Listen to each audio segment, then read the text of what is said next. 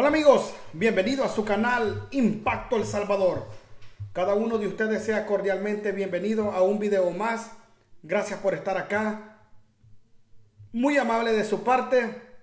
De antemano te vamos a pedir que nos regales un like para este video. De esa forma nos ayudará muchísimo a este canal. Y si aún no has visto las noticias de ayer, de antier y de ahora, te invitamos que revises el repertorio de videos que tenemos para que te des cuenta del acontecer nacional y la coyuntura política en la actualidad en nuestro querido país, El Salvador. Bueno, pueblo salvadoreño, vamos a ver algo que está ocurriendo en nuestro querido país, El Salvador, y más que todo de un personaje que se ha atrevido a criticar al presidente de la República, Nayib Bukele. Ustedes se preguntarán de quién, pues ya se lo vamos a poner. Simplemente espérenos un par de minutitos y ya le ponemos a este tipo que vino a hablar pestes del presidente de la República, Nayib Bukele. Ahí lo tienen a ustedes. Pero antes que todo, quiero leerles esto. Donde opositores rechazan firma, firmar, firma de pacto y reclaman que el tribunal falta de garantías.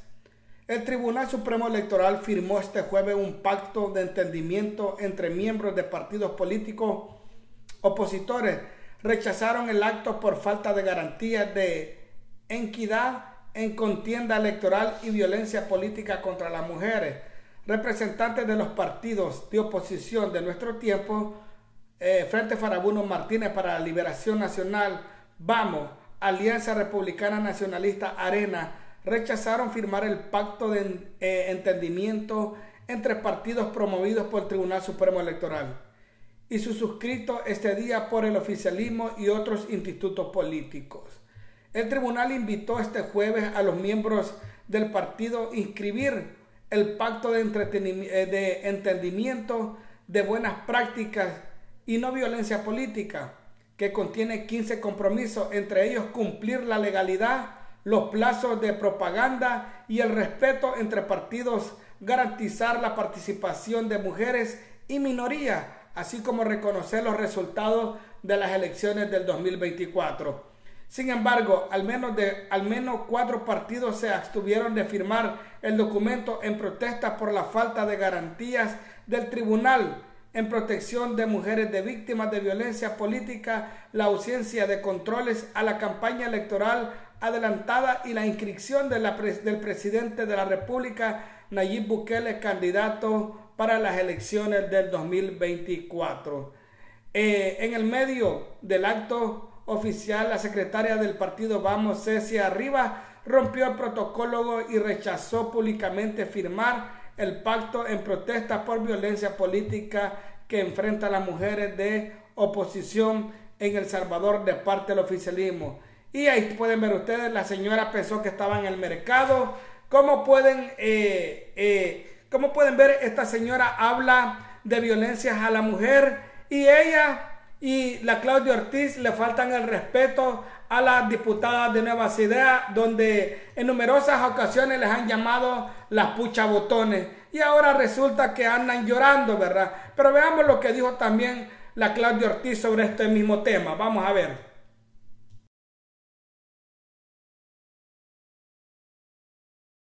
Es el único partido político que el Tribunal Supremo Electoral invitó a los partidos políticos a hacer una firma de un pacto para evitar la violencia, especialmente la violencia hacia las mujeres en campaña electoral, no hacer campaña adelantada y otras malas prácticas, como difundir mensajes falsos o ocupar cuentas anónimas de de gran cantidad para atacar a los adversarios políticos con falsedades. El partido Vamos es el único partido político que con la solvencia moral puede decir que no ejercemos violencia política en nuestras campañas electorales y que respetamos los plazos dados para hacer campaña electoral. El partido Vamos no necesita firmar un pacto de entendimiento para cumplir la ley porque cumplir la ley es nuestro compromiso con la ciudadanía. A diferencia de eso, lo que estamos viendo ya en la práctica ataques de violencia política hacia la mujer, estamos viendo también la utilización de una gran cantidad de cuentas falsas y anónimas para difundir mensajes también falsos y de violencia. Y estamos viendo una descarada campaña adelantada, mucha de ella utilizando fondos públicos. Ante eso, las autoridades que deben velar por que no se haga esto, el Tribunal Supremo Electoral, Tribunal de Ética Gubernamental y otras entidades como la Procuraduría de Derechos Humanos no están cumpliendo un papel independiente. Por esa razón consideramos que quien tiene que garantizar una campaña limpia no somos nosotros, no somos nosotras como parte de un partido político. Somos víctimas del oficialismo, de sus mentiras y de sus ataques, de violencia política, especialmente de violencia política hacia la mujer. Nosotros creemos más bien que es el Tribunal Supremo Electoral el que debe garantizar con una gestión independiente de las elecciones una campaña limpia y que se respete la dignidad humana de cada una de las personas que participamos en la contienda electoral, así como del pueblo salvadoreño. Y ante eso, la pregunta es el tribunal, ¿qué va a hacer si se violentan cualquiera de estos pactos? ¿Cuáles son los mecanismos? Nos hizo falta escuchar del tribunal un compromiso firme de... Ahora dilo sin llorar. La señora Claudia Ortiz haciéndose la víctima eh, cuando ella misma es otra. Dice, ni para el circo burdo son originales, dice. Bueno, aquí, aquí le han puesto una, mire, le voy a poner lo que le han puesto. Le han puesto el reciclaje de las mal queridas, ni para el circo burdo sirve. Lo, lo vamos a compartir y le vamos a poner decirlo sin llorar. Decir de, ahora, le vamos a poner así, ve, ahora decirlo sin, sin llorar, le vamos a poner, lo vamos a compartir, ¿verdad? Para que vean, ¿verdad? Ahora decirlo sin llorar, vamos a ver. Y el emoji que le hace falta, ¿verdad? Vamos a ver el emoji. Por aquí se lo vamos a buscar el emoji. Aquí ve, aquí ve. Ahí está. Vamos a compartirlo. Ahí ya lo compartí. Vaya, como repito, la señora eh, acá presente, eh, Claudia Ortiz, habla de una violencia hacia la mujer. Como repito, si ellas son las que se la pasan y eh, faltándole respeto a las demás eh, eh, diputadas de Nueva Ciudad cuando le llaman, cuando les dice pucha botones y ahí no, no queda muy bien. ¿Y cuál es el miedo? ¿Cuál es la violencia? Que les digan la verdad, que les digan que no sirven para nada, que les digan que no han hecho nada en todo el año. Se enojan por la verdad porque se les dice que han llegado al curul nomás a tortarse, a calentar la silla o el asiento donde han llegado a sentarse. Pero ¿qué ha hecho Claudio Ortiz por el partido? ¿Qué le puede aplaudir el pueblo salvadoreño a Claudio Ortiz? Nada. Para empezar, la señora esa que está a la par y la otra son otras señoras que le faltan el respeto a la a la bancada Cian gritándole de todo. Ah, pero ellas piden respeto. Razón tuvo el presidente de la Asamblea Legislativa cuando le dijo, usted pide respeto, compórtese y también de respeto y hable con, con elegancia, ¿verdad? Así que la señora está pidiendo algo que ella no hace, ni tampoco la señora. O simplemente es un show barato el que hicieron. Un show barato, el circo ellas ya, habían, ya, ya, se habían puesto de acuerdo para hacer este show barato o este circo de Acora, ¿verdad? Pero gracias a Dios en el 2024 van para afuera, el pueblo salvadoreño los va a sacar. Ahora, hablando de circo, pues también las señoras de Arena y el FMLN eh, amenazan al pueblo salvadoreño. Escuchamos lo que dicen aquellos que promuevan eh, la reelección pierden sus derechos. Entonces, claro, aquí como no hay un sistema que funcione, Es decir, eh, entonces por eso todo se permite y se calla. Entonces cualquiera puede decir cualquier cosa en este Y también la gente, mucha gente tiene miedo, ¿verdad? De decir algo, de poder hablar, porque imagínense ustedes eh, cómo han sido troleados el día de ayer, cómo han estado atacando a Graciela, por ejemplo, le han estado haciendo memes. Entonces, eh, ese acoso, que lo que busca, siempre he dicho, es una muerte civil a cualquier persona, porque eso es lo que tratan de hacer cuando alguien está en contra del gobierno, es lo que también detiene a mucha gente. Yo ahora en la mañana estaba riéndome por un loco que me estaba poniendo cosas y ha pasado toda la mañana acosándome y todos los troles del gobierno al mismo tiempo. Entonces creo que depende de, eh, de la fortaleza que uno tiene que tener. Y porque si nosotros no competimos, entonces ¿qué va a pasar? Que va a buscar la forma de avalar esta reelección a través de esos partidos eh, parásitos que hay ahí. ¿Cómo? Partidos parásitos que hay. ¿Parásitos? que, que, tienen ahí que, que solo dicen... Hagan, hagan, caras ahorita sí. Son partidos impulsados Para por el gobierno. Yo, te, yo le, diría, le haría esta pregunta, por ejemplo, a una persona que vota por Nuevas Ideas o que tiene convicción de seguir, por ejemplo, el presidente. Usted va a votar por un diputado de Nuevas Ideas que usted tiene seguro que le va a decir amén a todo lo que le digan por parte de la presidencia o va a votar por un partido apéndice que tiene un diputado que le quita la oportunidad de tener un diputado de su mismo partido. O sea, esa fuera la lógica que tendría yo si votara por ellos, ¿no? Bueno, y entonces, Tina, ¿el chino Flores le puede ganar al presidente Bukele? Podría. Y yo creo que el chino sería un buen, un buen presidente. Moisés Urbina tiene algo que decir. Estamos hablando de que la Claudia estaba pidiendo respeto a las mujeres. ¿Qué acaba de decir la Marcela Villatoro? Les dijo a los demás partidos, partidos parásitos para que vean que lo que ellas piden, el respeto no lo dan entre colegas, entre ellos. Pero pregunto, y la Marcela Villatoro, que no tendrá de otra forma de qué hartarse, sino de la política.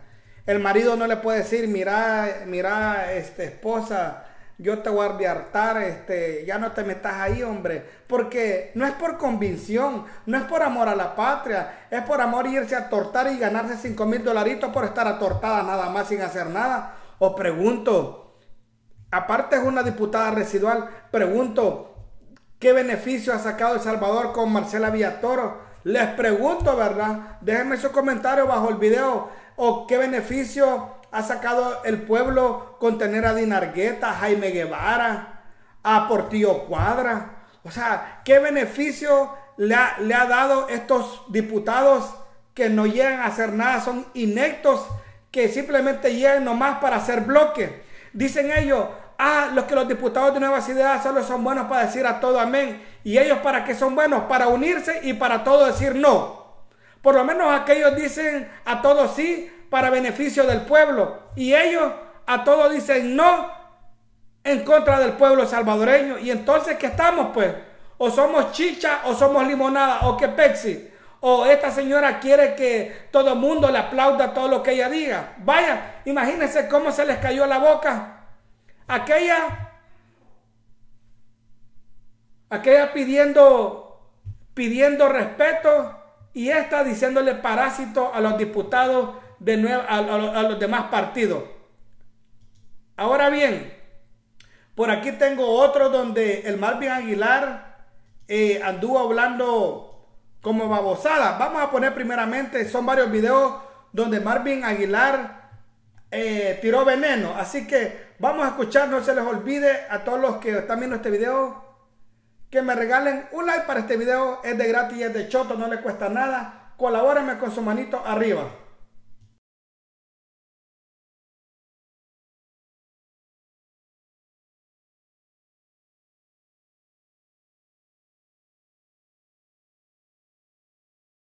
Se lleva bien con Nicaragua. ¿verdad? Es más, ya El Salvador no condena a Nicaragua en algunos organismos internacionales cuando se ha tratado, digamos, de condenar a, a Nicaragua porque tiene presos sacerdotes, porque cierra universidades, ¿verdad? Porque eh, reprime manifestaciones. Es decir, ya El Salvador no critica a, digamos, a Nicaragua. Y antes el mismo el presidente se refirió a, a, Nicaragua como una dictadura, pues. Entonces, eh, no hay, no hay, entonces, ¿cómo encasillarlo? ¿Este gobierno es de derecha o es de izquierda? Pues no es de ninguna. Es decir, si, si, si, a mí me va a dar dinero China, estoy con China. Si Estados Unidos me va a ayudar, le va a decir al Fondo Monetario Internacional que me dé crédito, estoy con Estados Unidos. Eh, si me va a ayudar Brasil, estoy con Brasil. Eh, si mi ley me va a ayudar a que me reconozcan algún grupo de, de, países de América Latina, pues estoy con mi ley. Entonces creo que, que en, digamos, a nivel, a nivel de política exterior, la única manera en la que tú tenés aliados es cuando tenés una palabra. ¿Me entendés? Tenés una palabra de, de qué, en qué lado estás, ¿verdad? Y te sirve para poder, eh, digamos, tener aliados internacionales en cualquier caso. Entonces el FMLN tiene una posición clara, Arena la tenía clara, ¿verdad? Entonces, eh, eh, aquí el, gobierno tiene un problema porque estamos con los países árabes, pero condenamos lo que Israel está haciendo con Palestina, más allá que Israel tenga derecho a defenderse. Y, y, yo lo digo porque no sé si te acordás que Cinco Zavala hizo un, hace, hace como quizás dos años o tres años, hace un corto donde decía que yo decía que había que darle 300 dólares a la familia, tergiversando totalmente lo que yo hacía. Ajá, ¿y hoy por qué no hace un video? Con lo que dice el Departamento de Justicia. No, es que bien dice Marcelo Larín, ¿verdad? Que hay un montón de youtubers medusa que les dice así porque la medusa como que no tiene cerebro, ¿verdad? Entonces, y que esa solo viven, ¿verdad? Y respiran y hablan porque tienen vida, porque tienen nariz, porque tienen hocico, ¿verdad? Entonces, por eso hablan. Es como dice Marcelo Larín, ¿verdad? Las, las focas. Entonces, ahí es donde ves que, que, que hoy en este momento que hay pruebas y que hay una posición de un gobierno, en este caso los Estados Unidos, en una corte de los Estados Unidos, y, y dirá lo que dice el documento. Vamos a demostrar, porque es la acusación que están haciendo en el juzgado, los vamos a demostrar que el gobierno, funcionarios del gobierno liberaron a él Canales en noviembre del 2021, lo sacaron de un apartamento, le dieron un arma y contrataron un coyote para que se lo llevara a Guatemala. En el juicio que se le dio a Raúl Mijango, allí se declaró en sede judicial que Guillermo Gallegos de Gana se había reunido en el Wendy de la zona rosa, el Wendy que está frente a la Plaza Italia, eh, con una clica de Las Palmas para negociar apoyo político. Entonces, ¿qué nos queda claro? Que aquí todos los partidos han tenido que irse a reunir con los... Y bueno, claro, hay que decirlo también, Guillermo Gallego no dejó. Pero ¿quién de los políticos aquí ha aceptado que ha pactado con los partidos? No, no, que es mentira, dicen, ¿verdad? Entonces, eh, estos cabrones, ¿entendés? Que han pactado con las pandillas, caminan como patos, le hacen como patos, tienen plumas de pato y los hijos de puta quieren que creamos que son colotes, ¿me entiendes? Pues, no, no me jodas. No, ¿verdad? No lo condenamos. A pesar que la... Vaya, ahí le ha puesto política más. Le ha puesto en el título del video, le ha puesto, dice el pelón gallina que Bukele es gallo gallina por no ser ni de izquierda ni de derecha y por no tener palabra de hombre. Dice que Bukele y Ortega son amigos asegura que Bukele y Gallegos pactó con pandilleros por apoyo político y que él tiene todas las pruebas. Ahora bien, aquí le han puesto, ya quisiera ser, dice aquí, ya, ya quisiera él ser el de ese tipo de gallo, gallina. El pelón quiere que se adopte un tipo de política, los conceptos se hacen, no nacen, dice aquí, ¿verdad? Ahora bien, tenemos otro en el puesto. No digo pues estos imbéciles de la oposición no tienen cerebro ni caca en la cabeza. El pelón de San Miguel dice que tiene todas las pruebas, que las presente la fiscalía. De lo contrario no sirve de nada. Ahí que Bruto no pega ni una. Y luego dice, este personaje solo es un igualado, más que quiere sobrepasar la inteligencia y la sabiduría del presidente Nayib Bukele a través de tantas aracas según este tipo tiene un mínimo de potencial para presentar el verdadero pueblo. Lo bueno es que nunca será diputado, le han puesto acá. Otro le ha puesto pelón de piojos, solo la basura hablas. Solo son buenos para que la población les pegamos una maltratada por magia, dice aquí, miren. Dice aquí, ¿qué le andan haciendo caso al pelón? Si solo debilidades habla, yo creo que ya se dio cuenta que no va a ganar por allá, ahora mejor critica. El pelón ya está resigno que no va a ganar. Algún asilo quiere pedir, ya no quiere estar en El Salvador. En lo mismo Santa Rosa es como dice, ¿te acuerdas cuando Taiwán le dijo al Salvador cuando, el cuando en el mandato estaban los areneros y los terrenos? Danos el voto para reconocer hasta al igual como tierra autónoma o independiente de China, igual que los gringos son mafiosos, dicen aquí. ¿Qué podemos esperar de esta bacteria si toda la vida le han sobando los huevos arena y el FMLN, dice Ana María? Perros ladren día a día, tico, los ladrones que solo son para madrugar, dice. Bueno, se lo han estado acabando aquí al señor, eh, al señor Marvin Aguilar. Y estos son los que, los que dicen que van a hacer alianzas o que van a ser, eh, eh, van a ser aliados del presidente de la República en las próximas elecciones. Bueno, eh, correspondiente a otro tema, recuerden ustedes que el señor Carlos Acevedo ex arenero y ex presidente del Banco Central de Reserva, cuando él dijo que iba a votar por el presidente Nayib Bukele y que votó, eh, que él votó por el presidente y que volvería a votar por el presidente de la República Nayib Bukele, pues sobre esto también se refirió Walter Arajo, donde dijo que Carlos Acevedo, eh, que la respuesta de Carlos Acevedo es muy racional.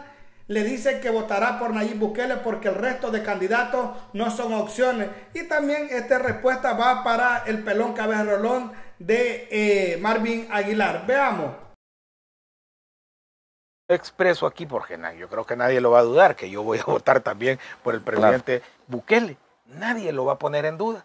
O sea, el hecho que lo haya hecho el doctor Acevedo, ¿por qué no tiene el derecho? Es más, yo, te, yo te voy a, me voy a remontar en mi pasado reciente, no tan lejano. Y cuando estaba Norman Quijano y, y Sánchez Serén compitiendo, que esa es la otra cosa, que la, la respuesta del doctor Acevedo es muy racional, porque les dice, ajá, yo voy a votar por él. ¿Por qué? porque miren, cuando veo al resto, ah, ¿cómo voy a decidir yo por don Humberto o el Sánchez? Pregúntese. Y es bien honesto el doctor, porque dice, no te, ¿y por quién, voy a votar si no? Y tengo que votar. aparte de que los deja en ridículo porque les dice, ¿cómo voy a votar por mi ley si yo no vivo, yo no soy argentino? Tengo que votar por alguien en el Por alguien aquí. Pero no voy a votar por, por el señor de Arena, no voy a votar porque no son opciones. No pues. son opciones. Entonces, ese punto, y cuando yo tenía, y teníamos antes, ¿cuál era la opción de nosotros? ¿Quijano o Sánchez Serén? Sí. En esa elección, en esa elección, no tuvimos otra. Y en la segunda vuelta, entonces, y se me, se me, vino el mundo encima, me acuerdo de traidor, todas las palabras, porque yo dije, al que hay que eliminar, que no regrese, es arena al poder. Porque yo ya me había dado cuenta, ya me había convencido 100% que era lo peor para el país. Bueno, lo otro resultó peor de lo peor, después si quieren compararlo, pero uno tiene un momento que tomar las decisiones políticas. Yo voté por Sánchez Serén en la elección contra Norman Quijano y me alegro grandemente, porque si no ahí tuviéramos a, a me imagino Arena. Arena la fue el pueblo ubicando en su real dimensión a lo que es. Y hoy lloran, por ejemplo, el financiamiento de los partidos políticos, hablando de otras sí, Sí, sí, sí, ya les demostraron con números, y ahí están las publicaciones, en donde les han dicho, sí, tenés derecho, pero se te ha olvidado que debes de que no sacaste los votos del anticipo que pediste, porque el anticipo de deuda política que anda llorando Oscar Ortiz por ahí es una potestad de ley, pero se le olvida a él que quedaron debiendo porque solo sacaron, no llegaron ni, a, ni siquiera a cumplir el pago de él anticipo. Pero ya salió también la diputada Marcela Viatoro a reclamar que no les han dado la deuda. Pues Serena no tiene, Serena se robó 10 millones de dólares del pueblo salvadoreño, Serena está embargada y aparte no le da tampoco eh, lo que solicitaron antes. Y ya se los demostraron. Hay un, un amigo que lo, lo puso y les puso los detalles, pero ellos van a seguir porque lloran porque tienen que llorar.